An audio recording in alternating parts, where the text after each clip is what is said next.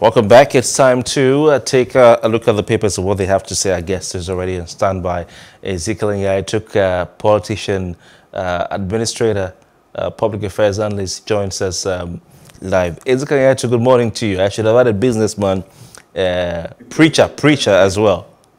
Thanks so much for having me and um, good morning. Fantastic, fantastic. All right, um, we'll just take the, the major stories from the papers and we'll go into details or more of the headlines as time uh, uh, permits us. We'll start with the first one we have this morning, The Nation, or The Punch newspaper rather, uh, with the following headlines. Governors stop deductions, consultants head for French court. This is talking about Paris Club refund. Governors stop deductions, consultants head for French court. NNPC meets marketers as petrol scarcity bites harder. Um, I don't know what the situation is in, in uh, Akwa Ibom State. Um, there's an editorial there. it's quite interesting. Poll ranks Obiano as best Anambra governor since 1999. Um, Obi's plane grounded. Uh, campaign train seeks alternative arrangements uh, some of the stories on the front page of the, uh, the Punch. Leadership uh, has the following stories. Now, the leadership's lead story. After leadership reports, INEC moves to tackle campaign spending breaches. It's good to see uh, these uh, newspapers doing investigative pieces to expose certain things and, uh, you know, control the, the conversation. right, so that's interesting one. Over to the next paper, Daily Trust. Uh, which has the lead story 2023 budget. Finance Ministry on the spot over 424 billion naira padding. It puts padding in inverted commas. I think uh, we can add more to that 206 billion naira they added to the Ministry of um, uh, Humanitarian Affairs budget. Quite interesting times. And the nation has the lead story. Electricity crisis. Governors reject sale of 10 power plants. NGF insists on legal solution to $418 million Paris Club refund fee route. Um, uh, let's start with the, with the finance uh, ministry story. And uh, those who've been watching, I mean, for, for, for the past few days, you know I've been really hammering on this finance ministry issue because um, something is not just right. What are your thoughts on, on, on the situation, the so-called alleged uh, budget padding? Again, rearing its uh, ugly head. The writers to that story says lawmakers decry in sessions. Ministry denies allegations. It's a ploy to divert taxpayers' funds, Rafsanjani, and it's uh, being investigated. Malami is has already put his mouth into the conversation. I don't know if he, this concerns him. Over to you, sir. Yeah, you know, the issue of budgets is one issue that um, a lot of times I really don't understand. There's a process for budgeting. It's a very simple, straightforward process. It is that of the, um, the, the, the, the executive to initiate. They bring it to the National Assembly. By my understanding, is that of the National Assembly to vet, as it were, uh, based on certain parameters or fundamentals or principles. Now, when this is done, they call the people to come and defend so that after they had looked through, they would ask a certain number of questions. Those questions are, you did this last year, and from our oversight, we discovered that this was still there. Why do you still have this year? We don't think that makes sense. Then all the, the, the, the, the, the, the, the policy thrust of government has moved from consumption economy to production economy? Why isn't there indicative of the policies? Why are we still having this subhead that seems to promote the latter rather than the new direction? You know, they go through all those processes to ensure that the resources that we have match our visions in terms of the direction we want to go as a government and that the cost reflective indices are such that there is a certain level of prudence and accountability and transparency and honesty. I think these are the jobs that the National Assembly would do and to ensure that, you know, whatever para monetary para parameters that they are applying, you know, within the period are applied in the budget because it starts from the budget. At the end of the day, they have a public hearing, if uh, as it were, or get some professional input to ensure that the resources of Nigeria, on one hand, and then the expenditure profile, they fit our national vision within the period. Now, this is what should be, and the budget is eventually, after being scrutinized, it is passed and sent to the executive to implement such that if the executive for one second deviated from it, it becomes an impeachable offense. Anything that is an impeachable offense is the highest level of, you know, what can never be tampered or toyed with. But I really don't see this.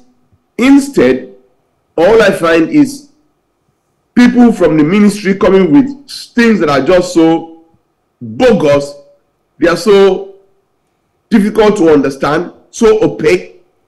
And then the National Assembly coming in with what comes up as their own personal interest, which is always expressed as budget padding. And at the end of the day, it's like dog eats dog, you know?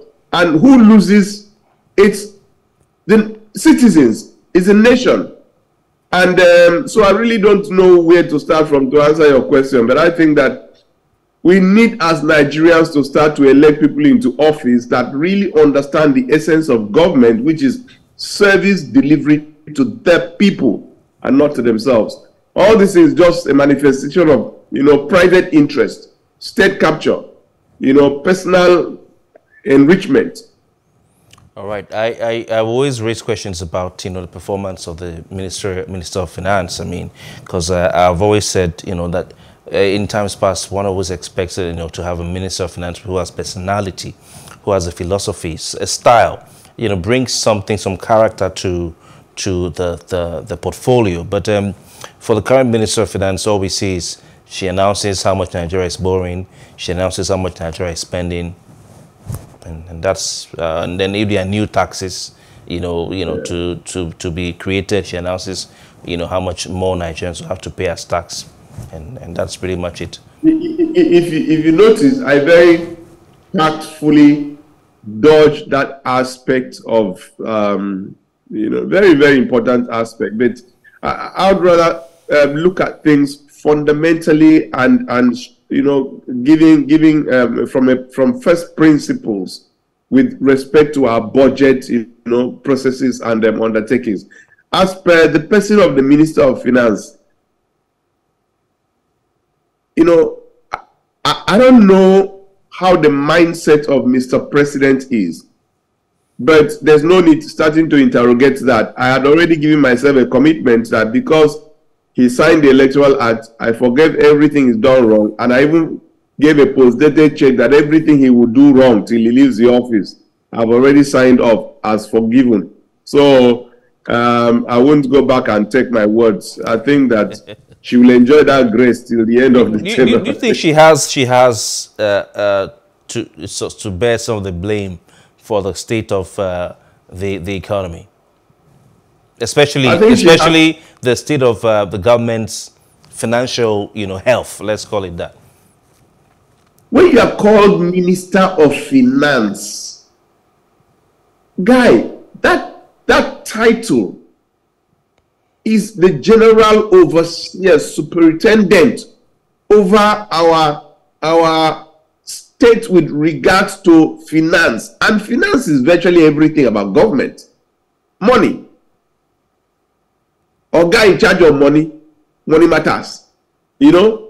So for where we are now we, you know and god made it such that we've had a reference point we once had a lady called madam ngozi okonjo iweala let's have a study of her person her interest her approach her undertakings and know that we have a reference point so it's not that we've never had one you know. And um, I, I think two ladies have stood out in our history. Maybe there are more. One is Dora Akunyili. Till tomorrow, she's left a mark on the sands of time. And the other person is still alive, Madam Okonjo Iweala. And she's been not just talked about, but rewarded at the highest, which is the global stage, with the appointment she's got. And have you noticed that not one person has come out to criticize her? I mean, of course, little bits of it. Nobody, nowhere in the world is talking to her with respect to incompetence or inability to occupy the office. I think that in profiling the people that we want to have in our offices, we need to do a little more work on who should be a minister of the Federal Republic of Nigeria. This act of patronage or prebendalism, I don't even know how to put it, or, you know, kinsman patron patronage, political uh, patronage. Patronage still comes over and over again. I, I think that um, we need to check it in the next administration. All right. Uh, President Muhammad Buhari is uh, superintendent over uh, a change in Naira notes for the second time in his life um, after he did so as in the 80s as a military head of state. And it seems to be yielding results already uh, in terms of mopping up or reducing liquidity yeah, mopping up cash in circulation. It's not, it's, there's a bigger, there's a much bigger picture. okay, but can I can I just read the, read the headline for you because I like to hear what you have to say. But the the Daily Daily Trust is saying as Buhari unveils new naira notes, 165 billion mopped up. You know, uh, the central bank said it has received a total of 165 billion naira so far out of the the 2.7 trillion naira already currently outside the banking system. So it seems it's um uh, it, it's working. Kolewek. yeah, yeah. or should I say uh, Onaga? look, I'm, I'm itching on this matter.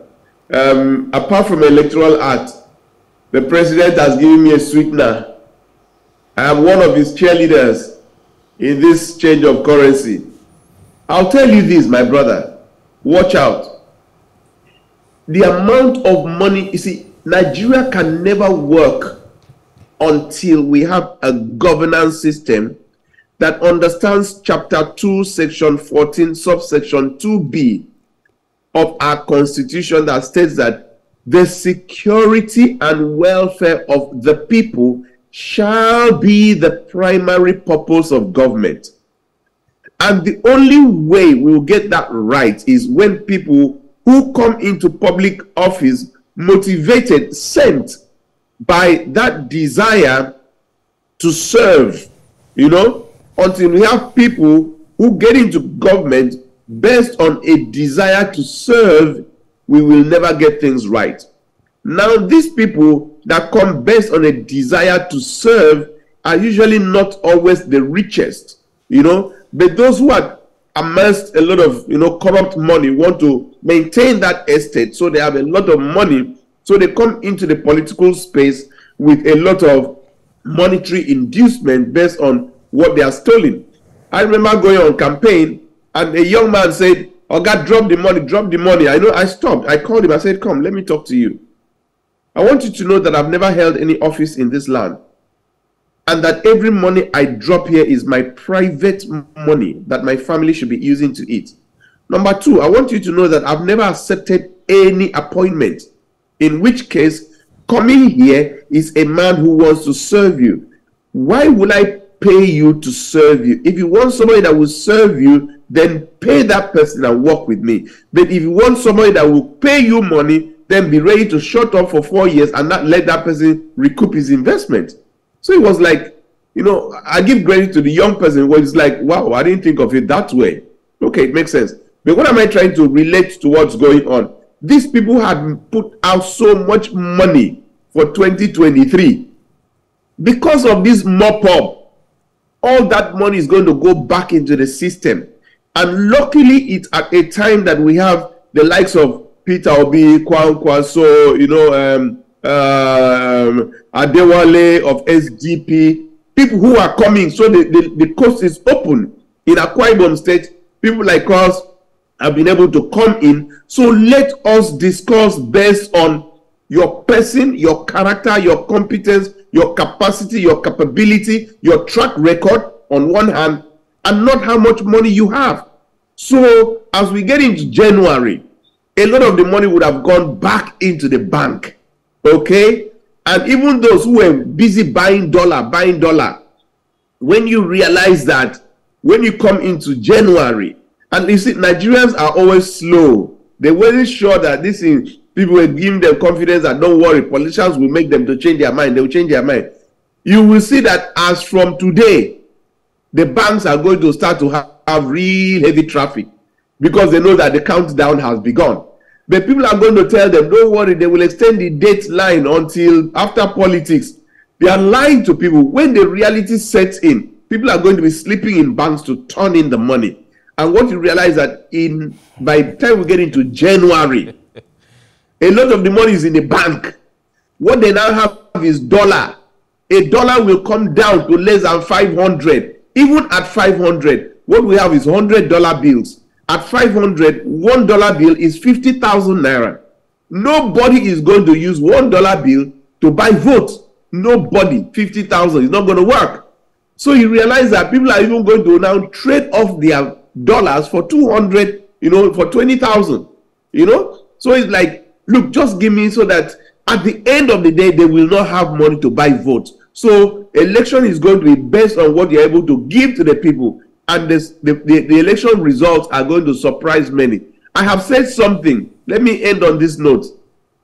On election day, let INEC almost make it mandatory that every major candidate, especially governorship, presidency, they must have a doctor in the house with them because many people are going to slump on the results they get. Oh my, oh my, it's interesting. You see why I call you a man of God in the introduction because you're prophesying. Maybe you've seen the vision uh, already. Uh, we, we have to leave it at that. Uh, I think um, we, we've done justice with the time we had you know, to the issues. Um, you're an insider, so you know better than most uh, what is going on. Um, do some people do not trust not, not inside central bank, oh, my insider. I know, I know. But uh, but so, some people don't trust. Yeah, some people don't trust the motives of uh, the central bank governor because he's a card-carrying member of the APC. I know maybe this is part of the natural penchant of Nigerians to, you know, uh, you know, yeah. distrust everything and uh, uh, suspect everything government does. But you've said it all, that uh, this will be for the best for Nigeria. Doesn't matter I whether Emefiele is a member of APC or not. Thank you very much for your time.